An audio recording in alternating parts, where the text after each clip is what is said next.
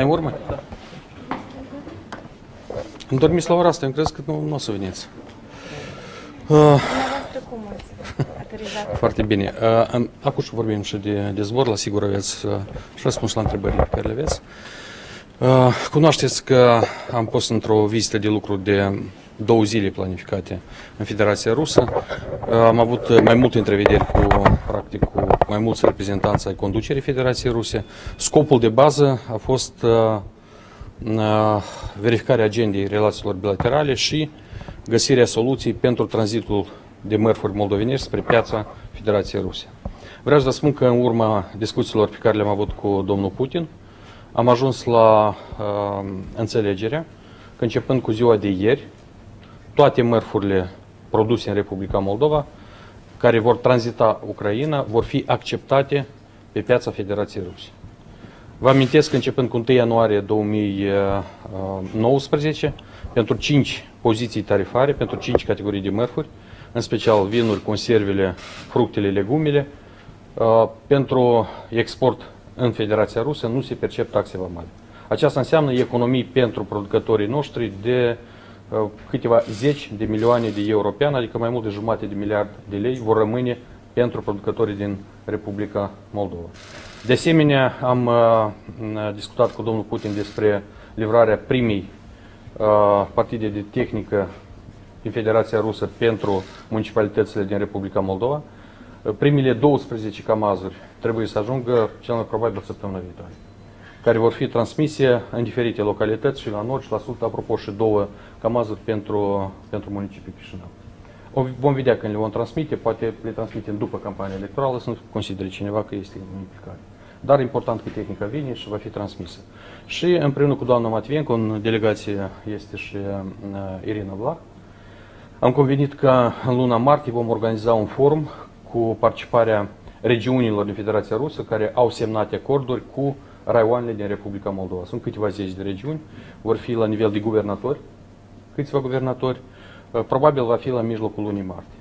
În ceea ce ține de revenirea acasă, uh, cunoașteți că uh, de când am fost ales de către cetățenii Republicii Moldova în funcție de președinte Republicii Moldova, nu am utilizat dreptul care îmi permite legea să închiriez din contul statului avioane charter. Tot timpul mă deplasez cu ruta, cu avioanele de rută cu rutele obișnuite și nu în business class. Ieri când trebuia să revin acasă, cunoașteți situația din aeroportul din Chișinău, mai multe zeci de rute au fost suspendate și conducerea Federației Ruse care a auzit despre această problemă a hotărât să, să ne ofere delegației din 12 persoane posibilitatea să revenim acasă cu un avion care a fost pus la dispoziție de către uh, conducerea Federației Ruse. Eu cred că este un gest foarte frumos. Vă aduc aminte că un an în urmă un gest similar a fost și din partea domnului președinte Lukashenko, atunci când am fost la, la vizită oficială în Belarusia și vreau să-i mulțumesc cu această ocazie pentru acest gest frumos. Am economisit, câte, cât, economisit câteva zeci de mii de lei pentru bugetul meu. Câți mii de lei ați economisit? Cât a costat cursul? Uh, biletul, dacă nu mă greșesc, e 1000 și ceva de lei pentru o persoană. Nu uitați-vă, 12 persoane, 10-12 mii de lei. Da, dar cursa charter cât costă? Nu știu. Noi n-am achitat nimic. Statul nu a achitat absolut nimic. A fost oferită de către conducerea Federației Ruse. Dar ce va oferi Republica Moldova în schimbul această... Nimic nu va oferi. Eu cred că este o apreciere a relațiilor bune și o apreciere probabil și pentru conducerea Republicii Moldova. Cum v-ați simțit uh, în avionul domnului Putin? Acesta nu este avionul domnului Putin.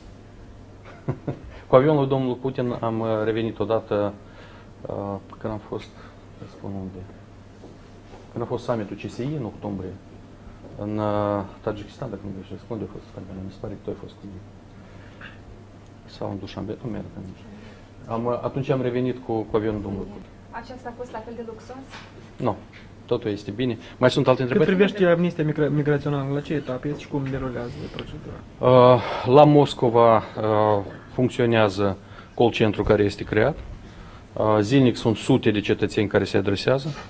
Uh, Eu sper foarte mult că cetățenii Republicii Moldova vor uh, beneficia, vor încerca să beneficieze de această posibilitate care a fost oferită în urma înțelegerilor între președintele Republicii Moldova și președintele Federației Ruse.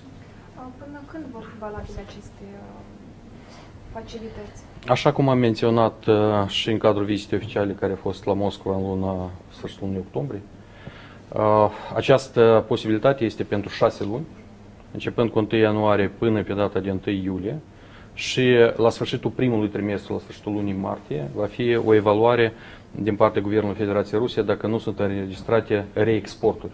Pentru că evident că există riscul să nu vină ucrainenii încoace și de ce să ducă produsele sub uh, marca produsă Moldova. Și de aceea ei vor face o analiză și vor pre- prelungi mai departe. Să înțeleg că curând, după alegeri, aceste câteva luni și expiră. Este mai Eu, mult eu, campanie? cons- eu consider că voi avea posibilitatea să conving conducerea Federației Rusiei pentru a prelungi uh, aceste uh, facilități pentru producători. Am spus, este vorba de aproape jumate de miliard de lei, asta dacă luăm în calcul volumele care s-au exportat anul trecut. Jumate de miliard de lei care rămâne în Republica Moldova. Eu cred că este un lucru foarte important și deja sute de agenți economici mi-au scris în rețele de socializare cuvinte de mulțumiri pentru că am hotărât această problemă. Domnule Dodon, ați declarat pentru un interviu pentru TASC că nu se pune problema anulării acordului de asociere. Am menționat de mai multe ori că, în primul rând, chiar și în campania electorală prezidențială, că președintele nu poate să vină cu astfel de inițiativă, dar uh, un an jumate în urmă am lansat ideea uh, politicii ex- externe echilibrate. Ce înseamnă acesta? Aceasta înseamnă că noi vom fi în relații bune cu toți, și cu Estul și cu Vestul. Și ce putem lua bun de la Uniunea Europeană vom lua de la Uniunea Europeană, ce putem lua bun de la Federația Rusă, piața, de exemplu, resurse energetice, trebuie să le luăm. Trebuie să fim în relații bune cu toți. Asta până când veniți cu acest...